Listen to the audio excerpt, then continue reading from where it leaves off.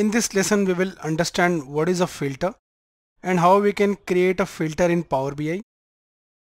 Okay, filters as the name suggests is used to narrow down the results to be displayed. Okay.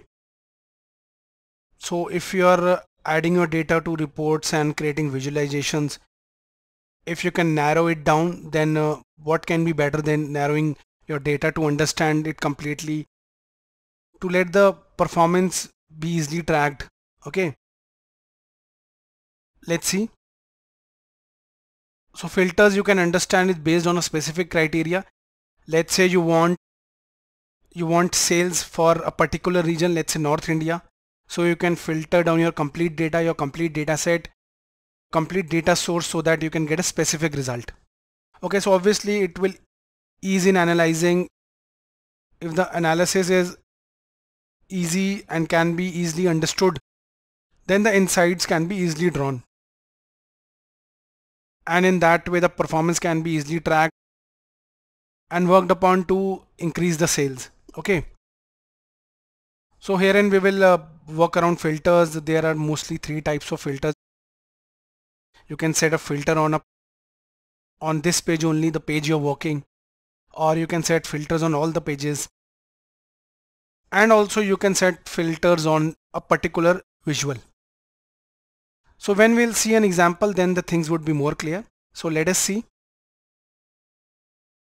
So here was our Power BI we created a project Amit underscore Power BI for this filter lesson I'll click plus to create a new page. Select and rename it. Let's say I'll set filters and that's it so the following was our data. We already loaded our data before. We are having the following columns here including sum of profit quantity sales and ship date. Easily you can guess that this is the store data or a mart data or a supermart data. So let us create a filter. Here is the section. Click here. You can see the filters on this page and filters on all pages section. Okay let us create a pie chart first. So pie chart you can consider as a circular graphical representation of data that displays how different categories contribute to a whole okay? It is having a circular shape slices represent categories okay? Size of each slice is proportional to its value and all the slices would be equal to 100%. Okay, so we'll create a simple pie chart for our example. Here, Herein go to the visualizations pane. Under that uh, you can see different charts are visible, graphs are visible. So here and select the pie chart. Here it is. Click on it. Now you can drag it or you can keep it as it is. Keep it here select it and herein we will select sales and state columns. So we are uh, creating a filter for sales on the basis of state.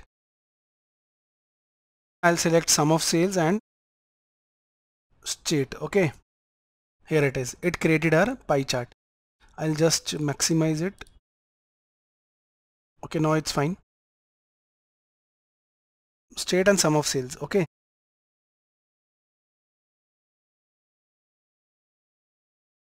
now it's fine. Now you can go here and uh, format visual. You can go to detail labels values and herein you can change the font size. Let's say I'll set it to 12 or let's say I'll set it to 15 now we have our pie chart. Now you can also see the filters on this visual. It automatically added state and sum of sales. Okay now let's say you want to get the data for a specific category. So what you can do? Can you see add data fields here? So just drag this here. Category and add data fields. Okay. Here it is. Now this is the filter. It's written basic filtering type. So we will see the basic filtering only and other columns are visible here state and your uh, the second one state and below we have our uh, sum of sales column.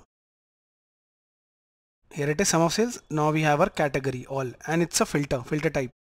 Now let's say I'll select accessories first. I'll select accessories category and the pie chart will update. Here it is the pie chart updated. Here is the pie chart updated. Instead of all the categories it is now showing us the accessories category you can do for uh, let's say bookcases here and here it is. It changed completely and the states are also visible. I'll again do it for accessories and you have set a filter. Okay. I'll just click here and uh, I'll just go to legend and text. I'll just change it to 15 this is also clearly visible. Anyway so we just added a filter here and we have set the basic filtering based on the category for sum of sales in a particular state. Okay I'll remove this bookcases now only accessories is visible for a filter. So in this way guys you can easily select a specific category set filters. In Power BI we worked on the filters on this visual section to display sum of sales in all the states for a particular category accessories. Okay you can see California. I'll keep the cursor and the sum of sales for accessories in California is the highest. So it filtered down uh, narrowed down your data to be displayed. So guys we saw how we can filter your data with the with the filtering option in Power BI. Thank you for watching the video.